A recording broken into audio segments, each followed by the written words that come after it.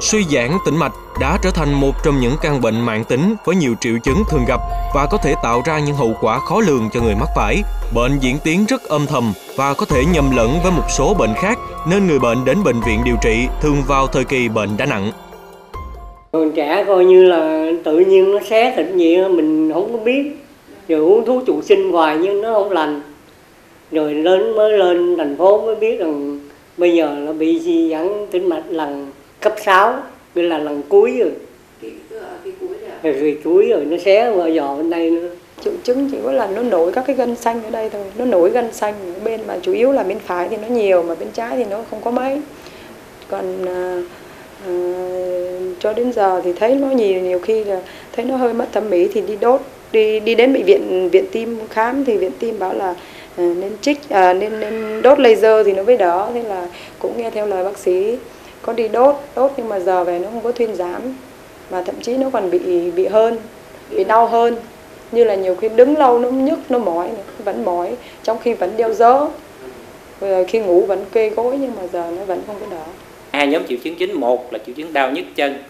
và cái nhóm thứ hai đó là triệu chứng khó chịu ở chân. À, triệu chứng khó chịu ở chân bao gồm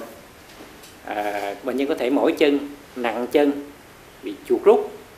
hay là bệnh nhân có cảm giác tê bì.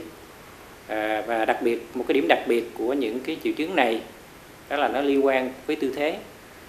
Khi bệnh nhân đứng lâu hay ngồi lâu hay mang vác nặng thì cái triệu chứng đó sẽ tăng lên. Và khi bệnh nhân nằm nghỉ trên giường hay mang vớ thì cái triệu chứng đó nó sẽ giảm đi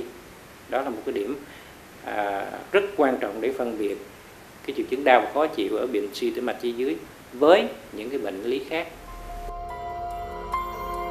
một số yếu tố nguy cơ gây nên bệnh suy giãn tĩnh mạch chi dưới như tuổi càng cao, nguy cơ mắc bệnh càng cao. Thứ hai là trên những bệnh nhân mang thai, sinh nở. Ở những bệnh nhân có nghề nghiệp đứng lâu hay ngồi lâu, bệnh nhân béo phì, bệnh cũng có yếu tố di truyền.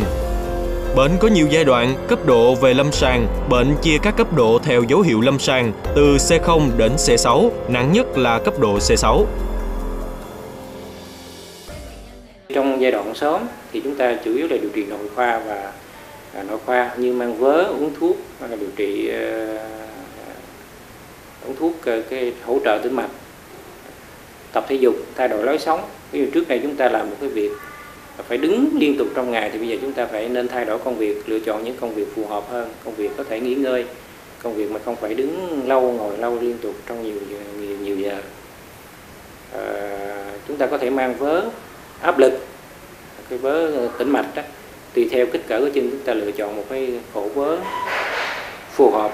Và chúng ta mang vớ như vậy thì chúng ta sẽ làm giảm được cái triệu chứng của suy tĩnh mạch. Ngoài ra thì chúng ta sẽ lựa chọn những môn thể thao nào có lợi trong suy tĩnh mạch đó là những môn ví dụ như là chúng ta những môn thể thao nào mà có di động cái cổ chân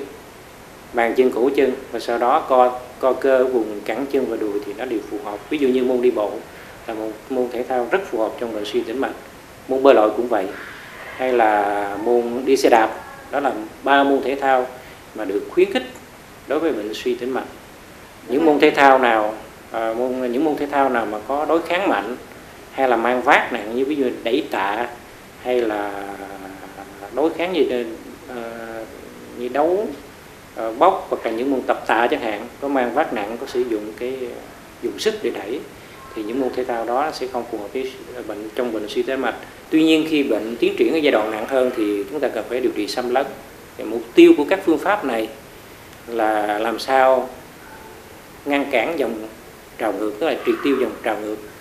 cái do lá van bị hư thì cái cái mạch cái máu nó sẽ chảy ngược từ trên xuống dưới và các ờ, các phương pháp điều trị xâm lấn mục đích là làm triệt tiêu cái dòng chảy ngược và do đó sẽ cải thiện tình trạng đau nhức trên cái triệu chứng của tình trạng tiến triển của bệnh suy tĩnh mạch cho bệnh nhân. Các phương pháp chích sơ tĩnh mạch, dùng sóng cao tầng, tia laser, keo tĩnh mạch sẽ được áp dụng để điều trị cho các bệnh nhân ở giai đoạn nặng Bác sĩ Phong khuyến cáo, người dân khi quan sát trên chân có tĩnh mạch giãn ở mức độ nhẹ, các tĩnh mạch mạng nhện có màu xanh hoặc đỏ, lớn hơn là giãn to ngoằn ngoèo, sạm da, chàm hóa, hoặc khi có triệu chứng đau, nặng chân, rát chân nên đến gặp các chuyên gia mạch máu để được khám, phát hiện bệnh sớm.